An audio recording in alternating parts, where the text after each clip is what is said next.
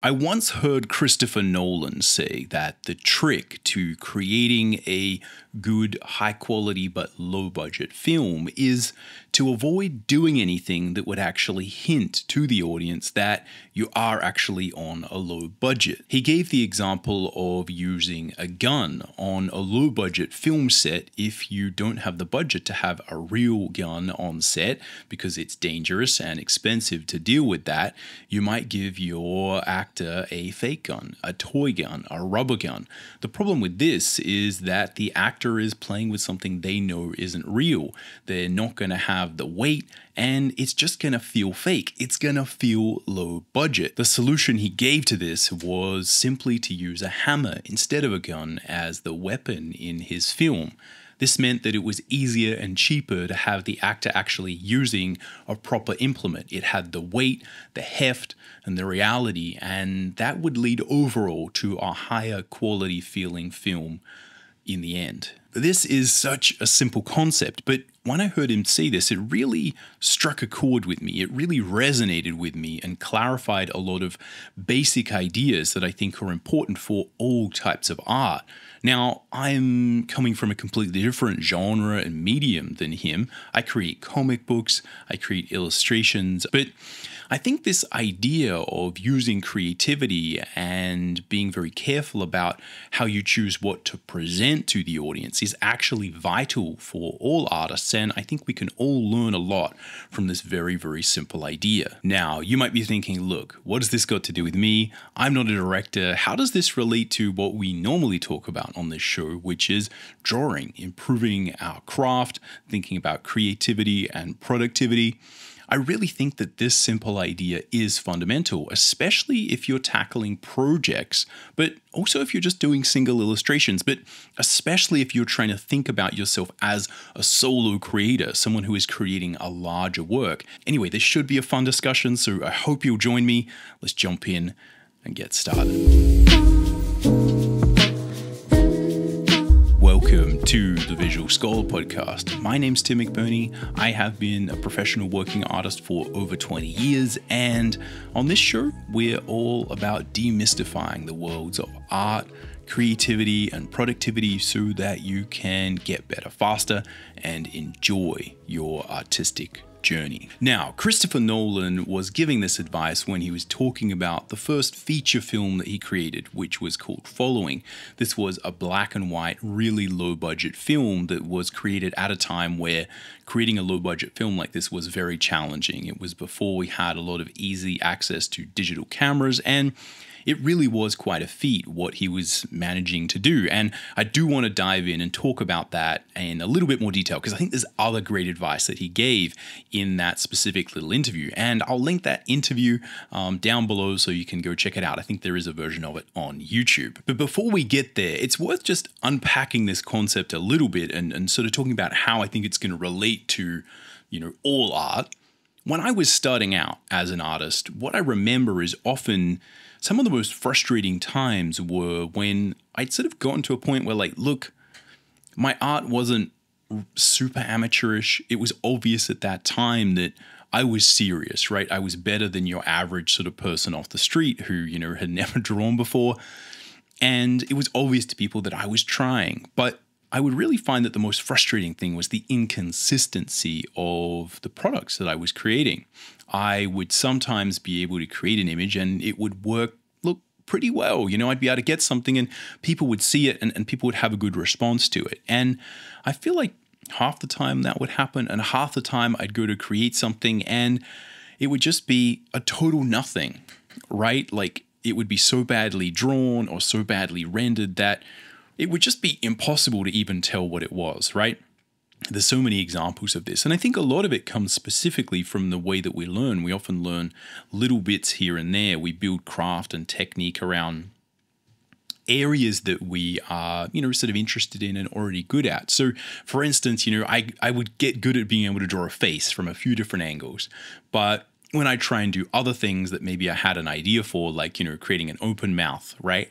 Mouth open, it would just be a complete unmitigated disaster. It would look like this really weird, um, crazy version with this sort of dislocated jaw and the teeth would be all over the place. And, you know, it, it would sort of go from like, oh, here I'm an artist and I think I know what I'm doing to kind of like, oh no, like this is not even worth showing anyone. In one image, I'm, I'm sort of going way outside my comfort zone and I'm not quite sure why.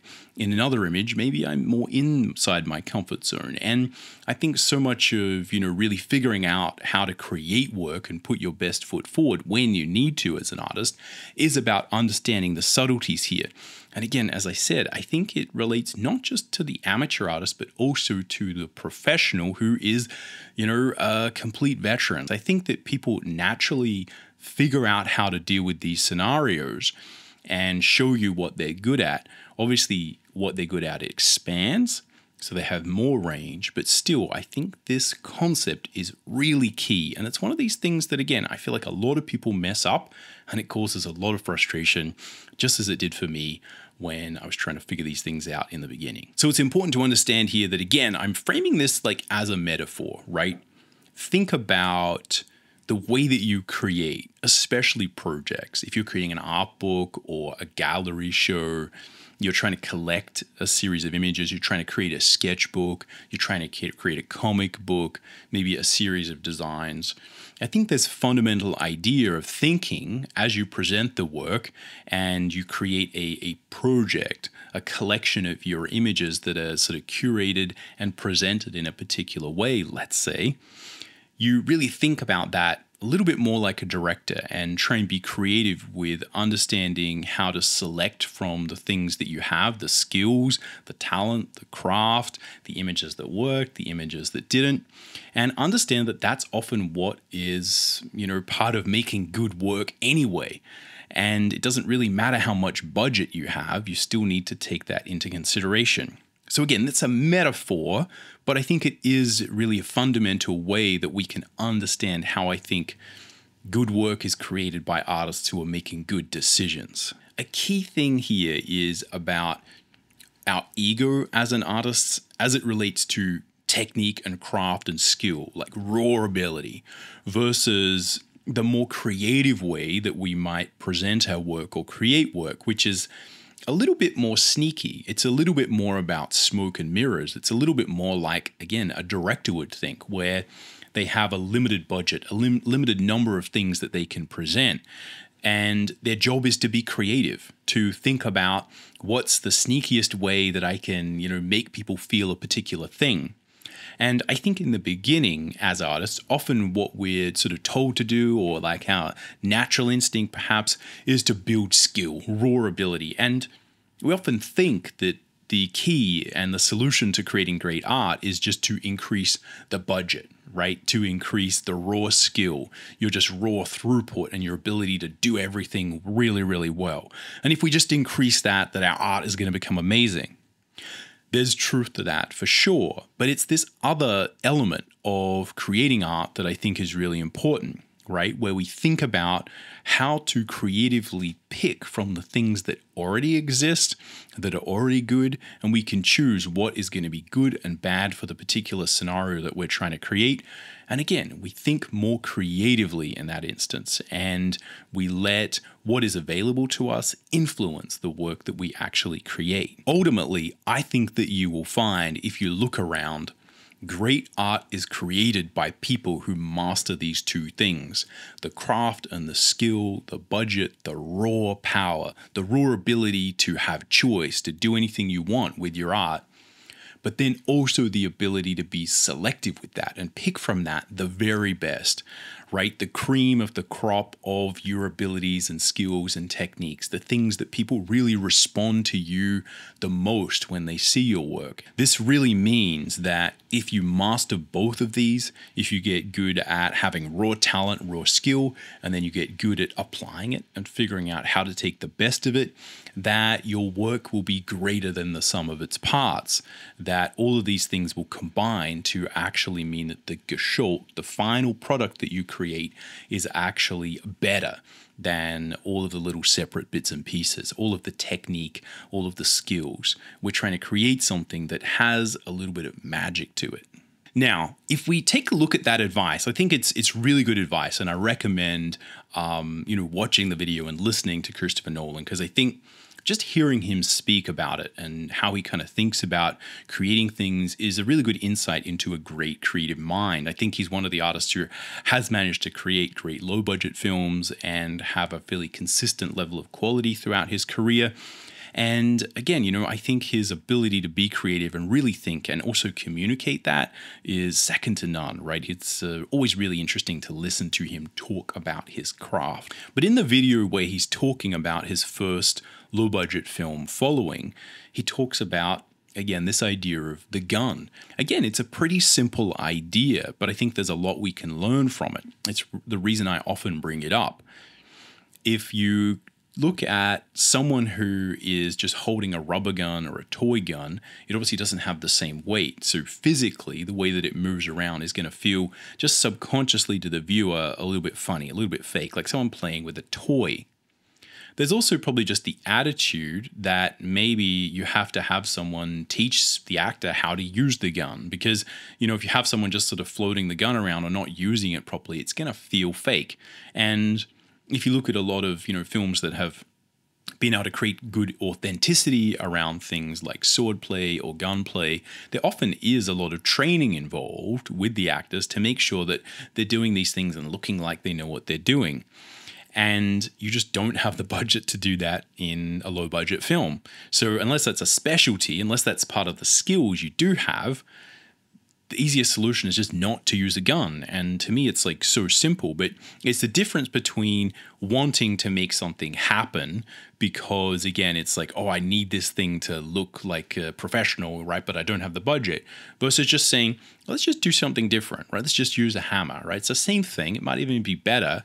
And then you can think about how to make the hammer as a weapon into more of a dramatic part of the story and the actors can have a hammer um, you know there's you know no particular way you would use a hammer as a weapon that's going to you know um, tell the audience that this is a low budget film so it's just a matter of thinking about making good decisions and, and not doing anything that's going to signal to you to your audience that they're watching something which is low budget or amateur. Other things that are obviously going to help this are making the entire film black and white, controlling the color, making sure that the lighting is consistent from shot to shot, making it all kind of look good is pretty challenging from like a cinematography perspective. If you make it all black and white, it reduces that complexity and it's more likely that shots are going to seem similar to each other um, and you don't have to necessarily do a lot of the you know color design and all that stuff. So again, reducing complexity in general, so you have less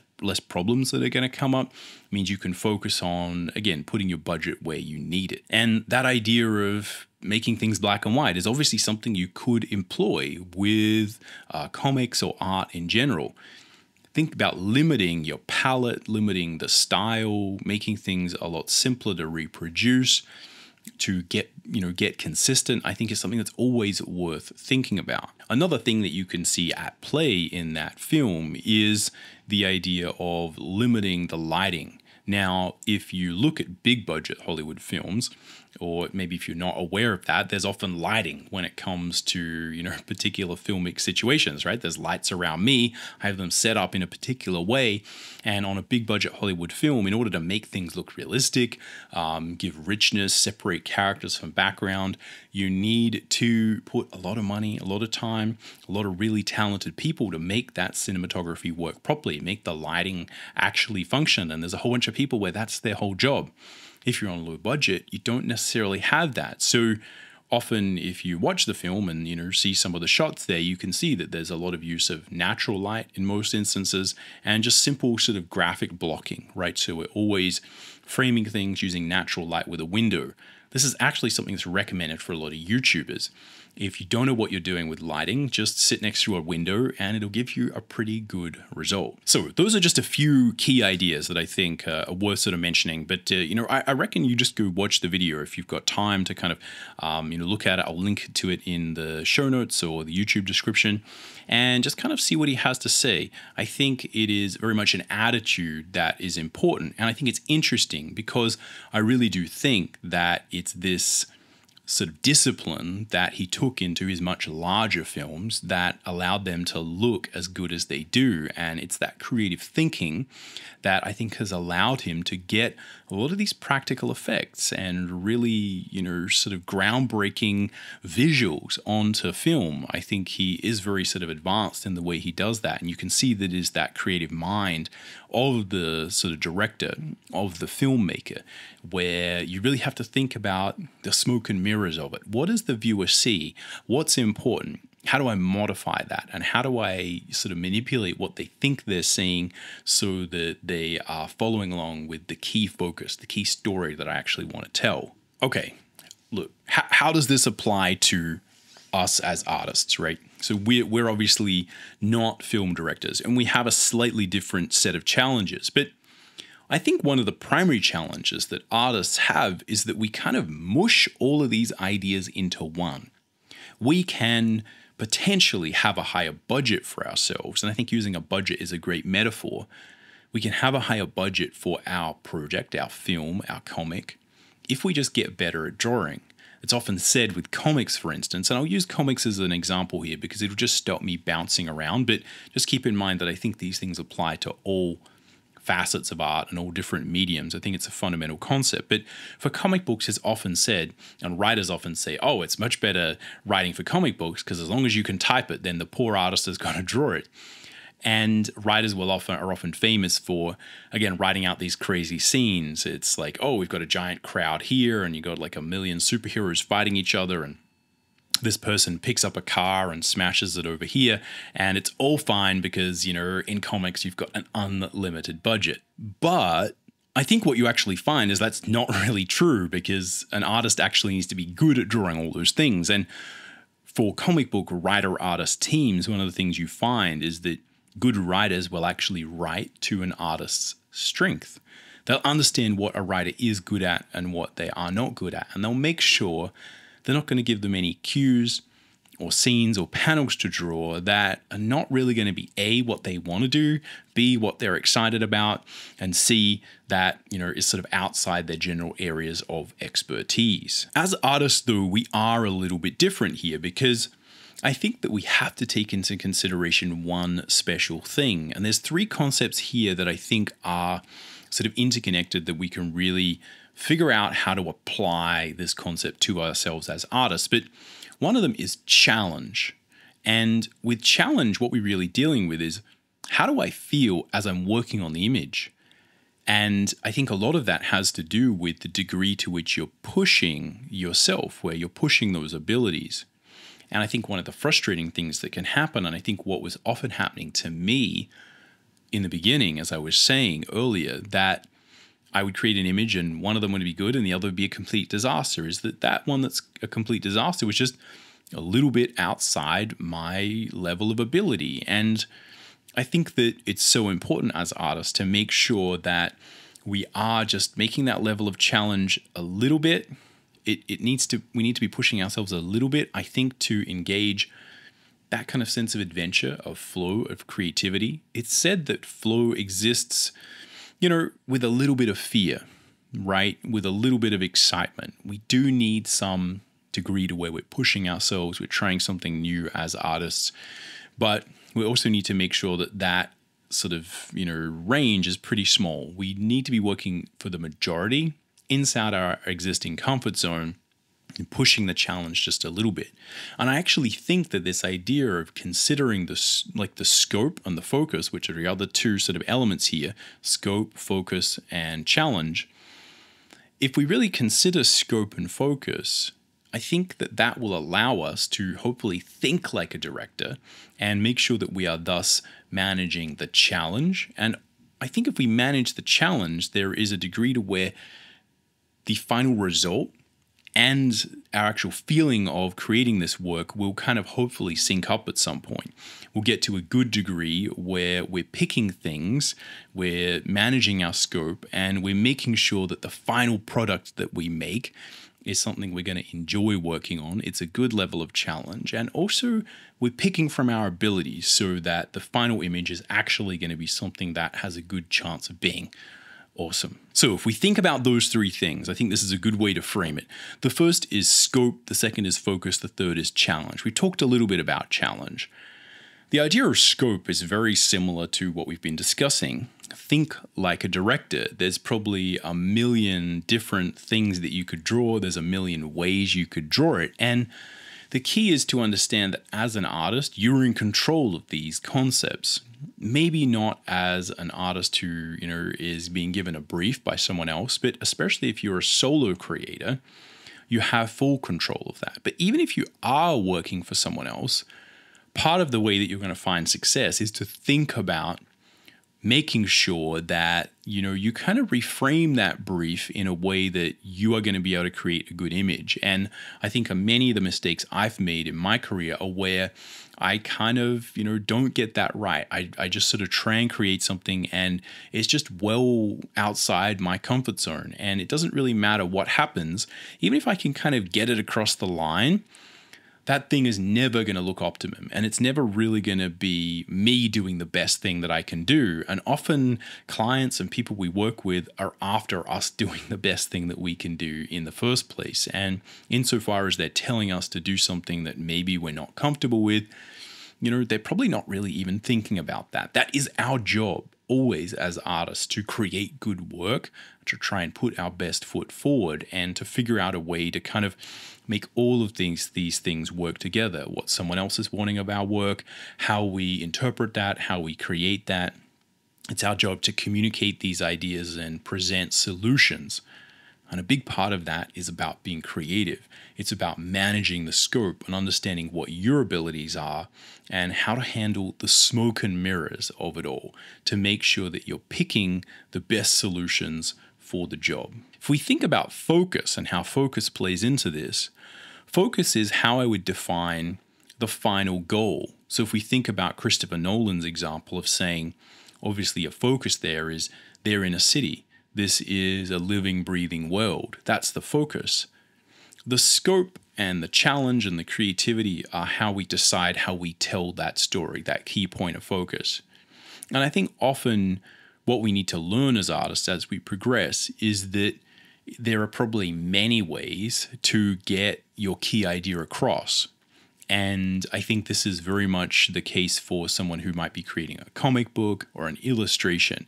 What we need to think about is what is our story about? What is the fundamental key idea here? What's this scene about? What's really important? What are the feelings that I want the audience to feel? You obviously have these emotions, oh, this is going to be a cool story it's going to be set here. I'm going to have, you know, these um, fantasy knights and they're sort of fighting, and behind them is this epic sort of castle. And then I get all this other stuff happening, and it's this living, breathing world, right? We're kind of imagining these living worlds, right, with characters around them and all this kind of stuff happening. The trick is we often don't have the budget slash skill slash slash raw ability to kind of always make that happen. And we don't always have that even if we do, you don't always have that ability to put it in every panel or every illustration because there's often time constraints, budgetary constraints for everyone, because time is kind of money to a certain degree. So we always have to be creative in the way we do that. And I think it doesn't really matter where you are on that scale. Thinking about the focus is the thing that will allow you to make other decisions and maybe say, hey, is there a different way that might not be as much of me showing off my drawing ability? Or maybe I couldn't draw that anyway, but is there another way of me doing that? How can I select from what I have to make sure that the thing I'm really focusing on, the feeling, the emotion, the story, that that thing still happens?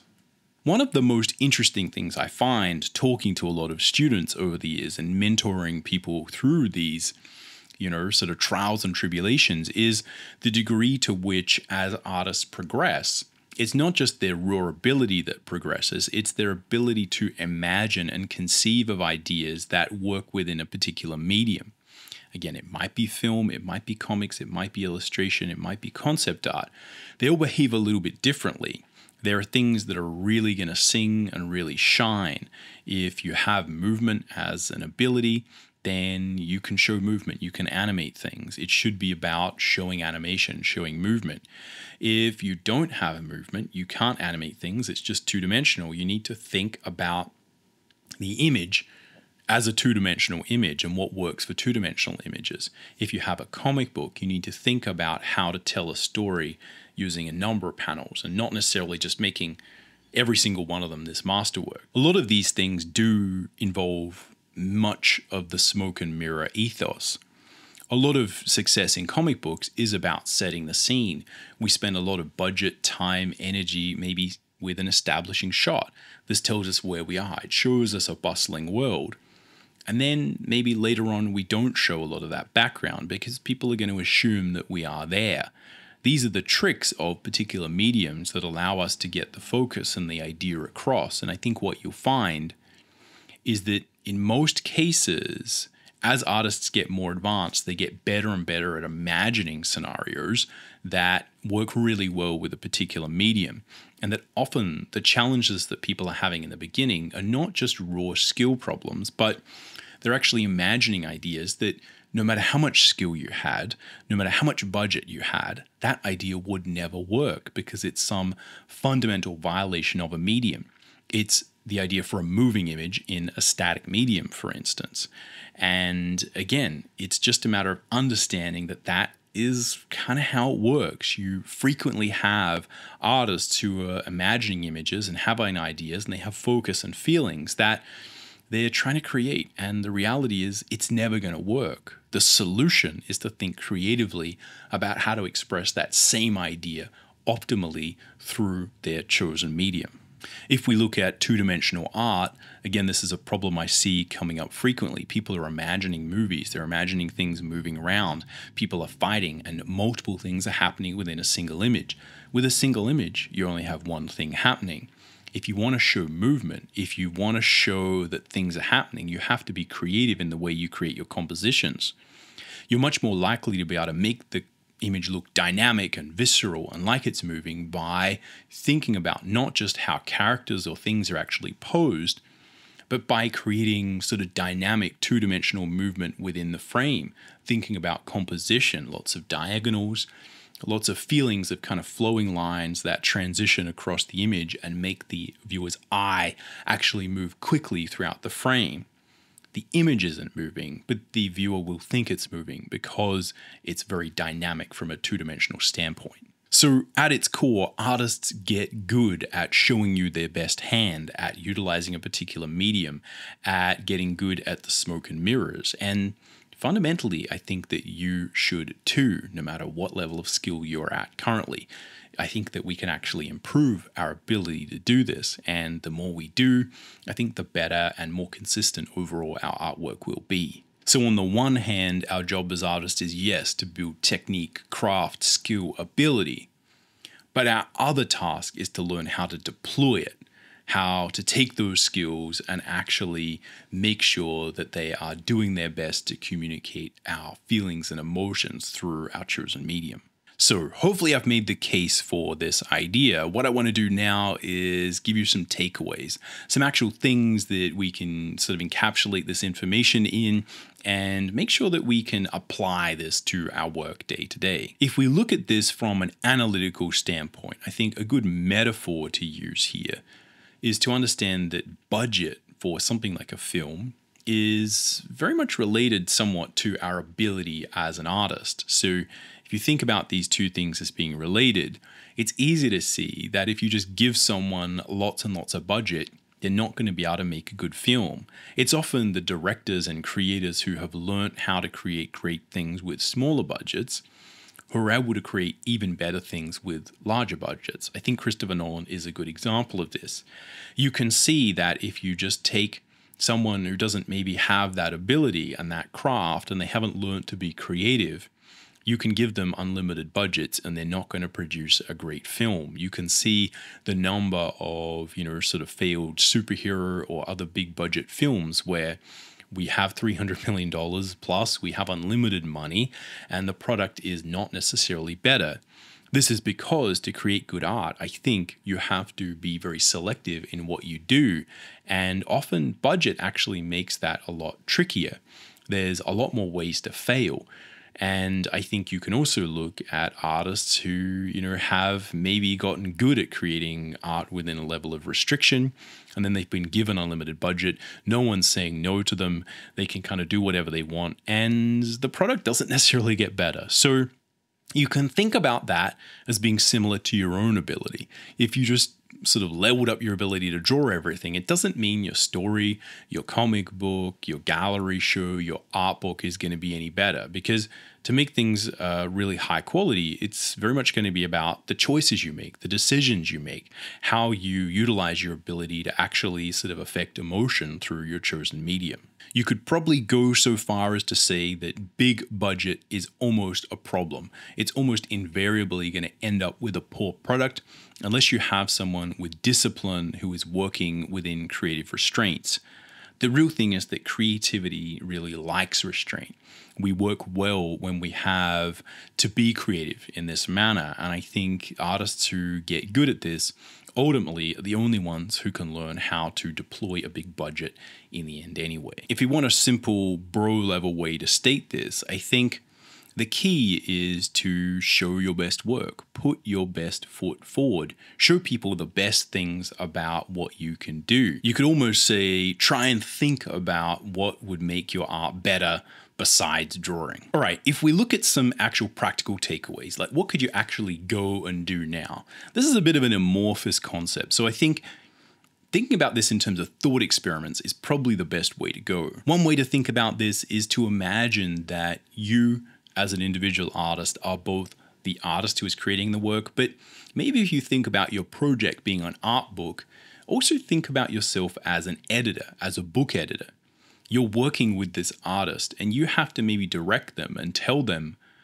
what are the best things they can do? How can you select from their work to produce a book that is going to be of the highest quality? If you are the artist, then you probably have your own set of aspirations. But again, if you're trying to get a certain level of quality, it really is a matter of thinking about how to draw from the work that you do have to create something that's going to have a certain level of polish and creativity. If you think very practically about the idea of an art book project as well, you can see that it might be good to consider other elements that might make the work look good as well. Things such as improving your graphic design, your typography. How do you actually present this? What are the things that are going to make this feel really high quality? you probably find there's a lot of these things that are actually very basic. And if you focus on them and think about it this way, your natural artistic abilities will probably translate very well, but it's just a matter, again, of thinking of yourself as someone who's creating the entire project versus just the artist who is trying to showcase raw talent and ability. Along a similar line, just imagine that you are an art director and you're stuck working with this artist who is you. If you need to create a finished, polished work, and you know that there's probably a lot of things you could get that artist to do that would be poor, how would you direct them? Right? What would you say? How would you reduce the scope of the project? And what things can you really find in that artist's work that you think other people would enjoy looking at and that they're going to be able to have a fun time doing and that they want to do? And really just find the intersection of all those Venn diagrams essentially where you're going to be able to have a good result. Again, the key here is just to separate the raw talent and you creating the work from choosing how it's presented. This is a real challenge for artists, however, and we often find it difficult to really know how people are viewing our art. The way that we view it and what we care about might be completely different to what someone else is thinking when they see it. Another good way to sort of frame this is to think about the general advice that is given to every single artist by every single art director or person who's hiring them to get a job. And that is don't show any of your bad work. It's recommended that you pick a very, very small selection of your work and you put a really good bit of that work first and a really good piece of that work last. You want to really wow someone and you want to leave on a really good note. And you want to make sure that there's nothing in there that is sort of low quality. Now, a lot of artists are sitting there going like, well, look, that makes sense. But I've got all these things and how about I show this and how about I do this and how about I do that? And the reality is, none of that stuff works. It doesn't work because, again, often what people who are hiring you are trying to figure out is what's your judgment like? What's your taste like? Do you understand how to create something that feels professional? If you put unprofessional, sloppy looking work in your folio, it brings up questions about your taste, about your choices. And often, what someone needs to do is to be able to give you a project and know that you're going to make good choices. They're not going to constantly have to say, You're doing this work, this is good, and you're doing this work that's bad. Why are you doing the bad work? Just do the good work, right? It's these very simple things where what you're actually being judged on as an artist is your taste, is your choices.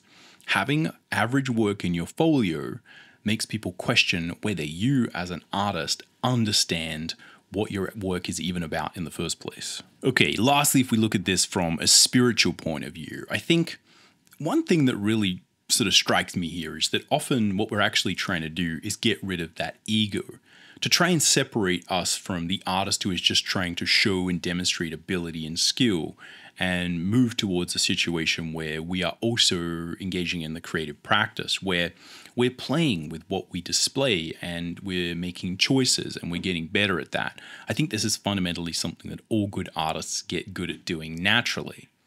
There's a very Zen concept here where we are kind of giving up control in order to gain control. It's one of these counterintuitive processes, but I think that's very much part of the creative process in general it's often about how we deal with the happy accidents. We spot those things that are working well. Maybe we haven't even intended to do them, but nevertheless, they are ours. We have done it. It's our ability to spot that, to amplify the happy accidents, to you know, de-amplify the things that aren't working. Often we think an image that we're creating is going to work this way, and then we find a different way. And part of getting good is letting go of the ego of like, but this is how I wanted in the beginning, and to just understand, yeah, but this is looking good. Let's do this. Now, this is very complicated because we often have to take into consideration briefs and all these other things, but I think fundamentally, an artist is subconsciously making these like these little decisions with every brushstroke. How do I make this better? Oh, that one didn't work. I tried to do this, it didn't work. Oh, this thing's working, this one's not. Let's go in this direction there's like this sort of symphony of choices that are happening, and they are happening subconsciously. There's a degree, though, to where we can utilize these same ideas at maybe a higher level of fidelity. Maybe not each brushstroke, but we're really trying to think about and use that same creative instinct that we develop as artists to make sure that we're putting our best foot forward in general when we're thinking about the components of a larger project. Obviously, we have this desire to get better on a craft, technical technical ability level. And I think that's very much a worthwhile pursuit.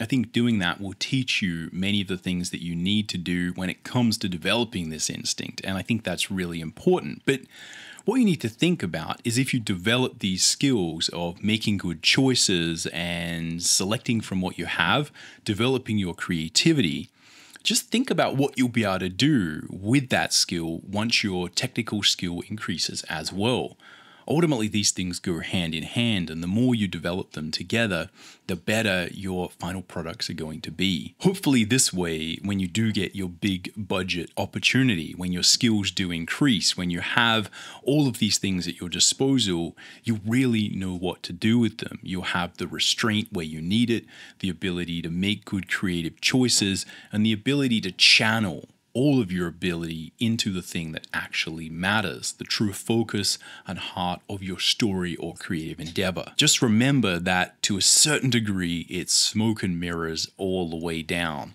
Much of what we do is trying to make our audience think and feel things. None of this is really real. It's all about what you can get people to think. That is the key. And the more you understand that and the more you work on those skills, I think the better and happier you're going to be overall. All right, that's all we've got time for on this particular episode. I was actually motivated to make this one based on the previous episode where I suggested you start your masterwork. Just jump in and look, you know, deal with all the problems that come up I think that that is a big challenge. And so I kind of wanted to offer this episode as potentially a way to think about how you might deal with a lot of those challenges. Yes, your drawing might suck, and yes, you're going to get better at it as you progress. Yes, I think projects are a great way to do that. Drawing a comic or whatever, it is will help your technical skill improve. But what you also need to improve is your ability to make good choices, to implement your art, and think about how to focus on your core idea and use your art to support your larger efforts. So, hopefully, this one has helped in that regard. Let me know if you've got any questions or comments. Let me know if the idea of thinking like a director resonates with you, whether this is going to help you going forward. I'd be really keen to know your thoughts. Leave me a comment, a like, subscribe on YouTube, um, or leave me a review on podcast platforms. And I'll catch you on the next one.